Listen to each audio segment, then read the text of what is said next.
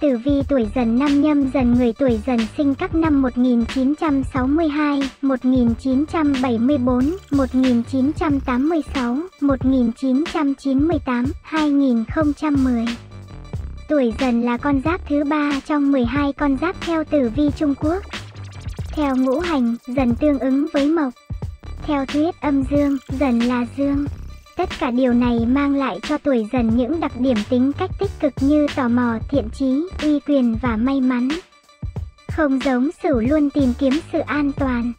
Ổn định bền vững, dần lao vào đời sống với trọn vẹn đam mê, sẵn sàng mạo hiểm mà chưa từng e sợ rủi ro. Tham vọng thôi thúc họ hành động thế nên đừng nói với họ về thất bại. Họ sẽ ghét cay ghét đắng bạn. Tuổi dần là biểu tượng của lòng dũng cảm, Họ yêu thích cạnh tranh, luôn nổi trội giữa đám đông. Với sự tự tin tuyệt vời, họ luôn là những nhà lãnh đạo có năng lực.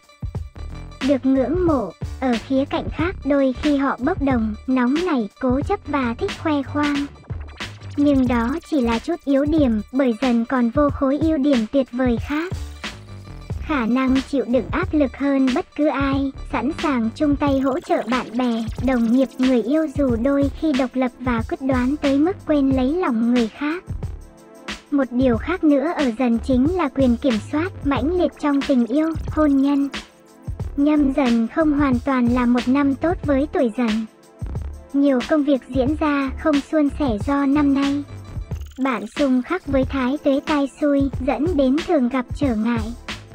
Trong các môi trường từ công sở đến gia đình, bạn đối mặt với áp lực lớn, dẫn đến tâm lý hoang mang. Điều quan trọng là không tạo áp lực lớn cho bản thân, tránh đặt ra những mục tiêu quá cao. Năm nay, bạn có thể đối diện với những thay đổi lớn trong gia đình, xã hội. Do đó nên suy nghĩ xem điều gì quan trọng với mình. Phong thủy tuổi dần và các yếu tố may mắn năm nhâm dần tài lộc 3 phần 5 sức khỏe, 3 phần 5 sự nghiệp, 3 phần 5 tình yêu, 4 phần 5 con số may mắn 0, 1, 2. 9 màu may mắn, đen, xanh lam, xám. Cung hoàng đạo tương hợp tí, mão tất tháng thuận lợi tháng 2, năm, 10 âm lịch 1. Tài lộc sự nghiệp của tuổi dần năm nay không nhiều khởi sắc. Mọi thứ ở mức bình thường, khó có sự bứt phá. Trong môi trường làm việc dần khó được thăng chức tăng lương. Những tháng đầu năm, khó khăn khiến bạn chán nản, dễ nảy sinh suy nghĩ bỏ cuộc. Chỉ khi nỗ lực gấp đôi, bạn mới có thể làm mới tình hình đáng kể. Nếu kiên trì đeo đuổi mục tiêu đã chọn, không gì ngăn được bạn tận dụng cơ hội tốt vào khoảng tháng từ tháng 5. Bạn nên chú ý mối quan hệ với đồng nghiệp cấp trên và cấp dưới. Để cải thiện vận may sự nghiệp, bạn có thể đeo vòng đá lapis mặt hồ dấu hiệu tuổi mình. Năm nay, hai nhóm sao may mắn trong đó có các ngôi sao may mắn về tiền bạc sẽ không tạo được ảnh hưởng lớn đến vận may tài chính của bạn, do đó tuổi dần khó kiếm được nhiều của cải từ các công việc toàn thời gian hay bán thời gian hoặc các nguồn dự kiến. Đừng gượng ép mình lao đầu vào các cơ hội. Bạn nên tránh cờ bạc hay các trò đỏ đen. Cần tiết kiệm tiền, chú trọng phát triển ổn định. Không nên tự ý thay đổi công việc càng không nên khởi nghiệp bởi rủi ro cao. Nữ giới có thể đeo vòng tay đá citrin vàng mặt hồ. Giúp mang lại phong thủy tốt tài lộc dồi dào hơn. Đối với nam, có thể đeo vòng tay đá mắt hồ.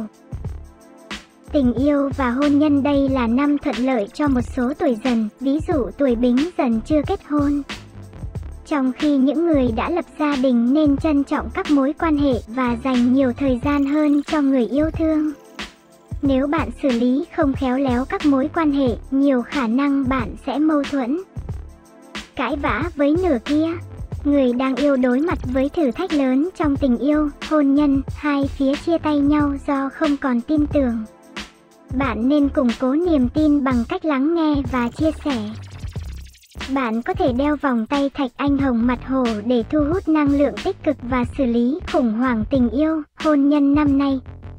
Sức khỏe vận trình sức khỏe của tuổi dần năm nay không tốt lắm. Do sự xuất hiện của một số vì sao xấu, gây ảnh hưởng trực tiếp đến sức khỏe thể chất tinh thần. Tuổi dần sinh các năm 1962, 2010, 1974 có thể yếu ớt hay mệt mỏi, gặp vấn đề về gan, túi mật. Hạn chế tham gia các lễ tang, cúng tế, nên chú ý vệ sinh khi ăn uống, đề phòng vấn đề đường tiêu hóa. Cần cẩn thận khi ra ngoài, đề phòng ngã. Tử vi các tuổi dần năm nhâm dần nhâm dần 1962, đời sống tình cảm đứng trước thử thách đòi hỏi dần học cách thấu hiểu, cởi mở hơn với bạn đời của mình. Giáp dần 1974, năm nay. Giáp dần thu hút được quý nhân phù trợ, giúp họ phát triển được bản thân về mặt chuyên môn, thúc đẩy tình bạn bền vững. Bính dần 1986 Người mệnh hỏa có một năm biến động, đánh dấu bởi những thay đổi về tinh thần. Năm nay cũng là cơ hội xoay chuyển các vấn đề cũ, biến chúng thành mới mẻ tích cực cho sự phát triển bản thân. Mậu dần 1998 Đây là năm bạn có thể nhận tài sản thừa kế hoặc quà tặng giá trị. Khi các nguồn lực bên ngoài được khuếch đại, bạn nên tận dụng tốt. Canh dần 2010 Một năm may mắn thuận lợi nhiều hơn khó khăn, giúp bạn học hành tấn tới mọi lĩnh vực trong đời sống tiến triển thuận lợi. Những thông tin chú ý khác chúng tôi sẽ cập nhật bài viết lần sau. Rất mong sự ủng hộ của các bạn. Chúc các bạn vui vẻ. Xin chào, chia sẻ hữu ích nhé.